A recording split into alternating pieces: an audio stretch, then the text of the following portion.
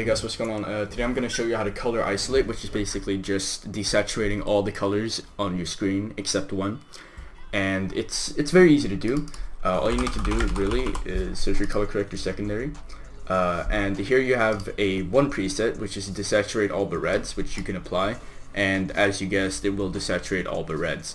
Uh, now, what if you wanted this to be a different color, you know? What if you wanted it to be green or blue? Well, that's what I'm going to show you.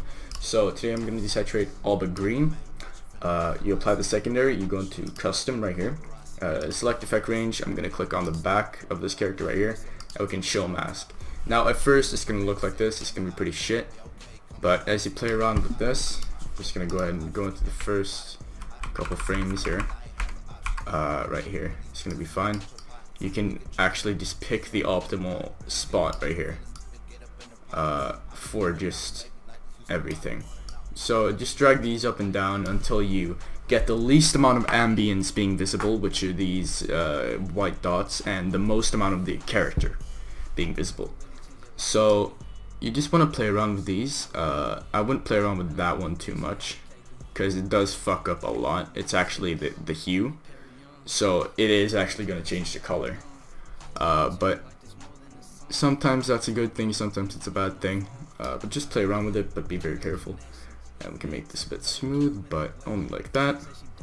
And luminance.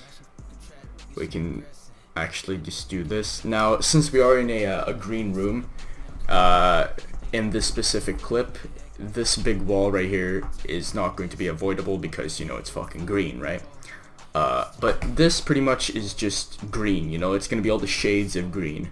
And this is just the color, pretty much, and this is just the saturation, like how, how green is it, and not what green is it, if you know what I mean. So, and then we can just go here, we can turn it down as much as we possibly can, without affecting this too much. And we can just smoothen it out a bit and after we do this we actually want to go uncheck mask and invert mask and drag saturation all the way down. So yeah that is how you isolate a single color.